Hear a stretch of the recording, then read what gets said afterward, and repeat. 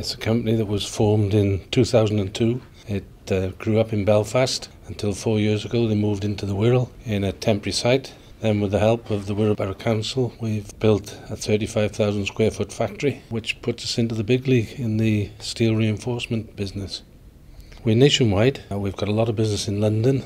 What we're trying to do is to capture more of the market in the northwest, which is why we've located here. We're located next to a, a port. We import steel, so it's ideal. It cuts down on the transport costs. It's grown from a turnover of roughly 1 million, looking to go up to 14 mil this year, and possibly in the next five years up to 20, 25 million. Where we were employing three or four people in Belfast, we're coming up close to 50 at the minute and growing.